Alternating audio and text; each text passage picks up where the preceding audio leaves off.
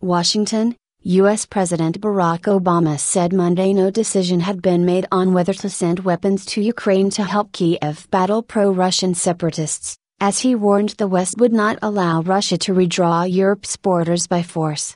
Obama, who has faced increasing calls from domestic critics to supply the outmatched Ukrainian army with more weapons to shore up its faltering defenses, said he was still mulling his options. The possibility of lethal defense is one of those options that's being examined. But I have not made a decision about that yet, Obama told a joint press conference with German Chancellor Angela Merkel. Merkel and many European nations believe weapons would not overturn the military mismatch between Ukraine and pro Russian forces allegedly backed by Moscow, and would simply escalate a conflict that has left 5,400 people dead in less than a year. Merkel has sought to negotiate a peace deal with Russian President Vladimir Putin after joining crisis talks in Moscow last week with French President Francois Hollande.